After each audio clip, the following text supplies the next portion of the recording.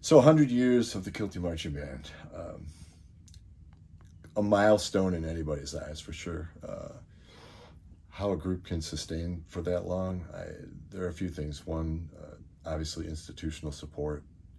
You know, the fact that the college has constantly supported the arts, and it's been a big part of, of what we're about.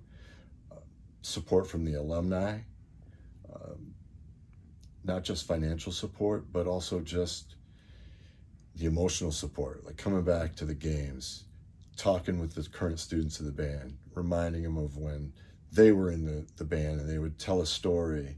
And the students always find that interesting, and I always have a chuckle because maybe sometimes I remember that very story only from the other side of the fence. So, um, and you learn things when you hear those stories. Oh, you're the guy that did that. Okay. You know, so all fun stuff like that. But I think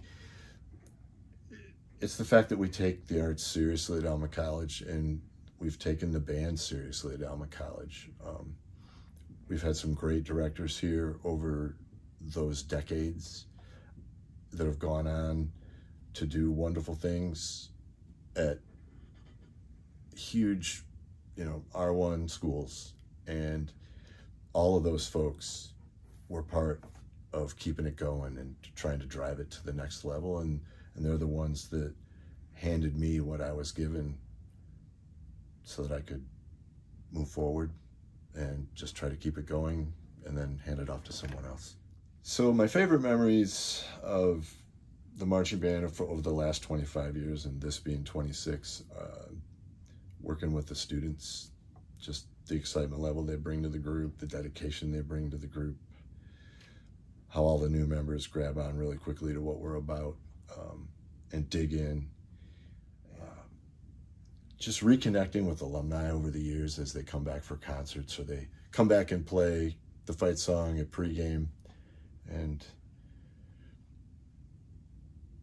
those are some of my, my best memories. And the staff that I've been able to work with and picking out the music and picking out the shows and how can we do things that people wouldn't expect and the crowd. I mean, our football crowds are tremendous, and they've always been super supportive of the group. Um, you know, so for the alumni out there that are, you know, want to be engaged, want to be helpful, um, things that you can do. Bring a high school student, bring a junior high kid to a game. Somebody that you know, a family friend, an acquaintance, a relative, bring them to a game, bring them to a concert. Let them see what they have the opportunity to be involved in.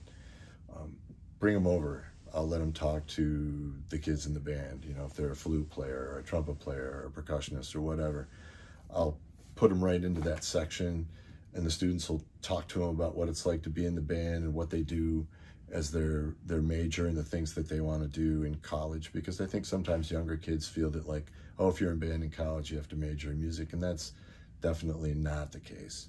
And it, you know, it's good for them to hear that. Hey, I can be pre med and play in band, or I can be political science and play in band, or I can be a business major and sing in the choir or play in the band. So all those things, just getting those kids here, super important. Um, spread the word about Alma. You know, spread the word about the education that you got and how it's helped propel you forward and the opportunities you've had because of your education. Um, and then obviously there's, you know, there's the financial piece. You know, if you're at a space where you can do something financially for the arts, for the band, um, that's fantastic. And it doesn't have to be a lot, you know, whatever you can do.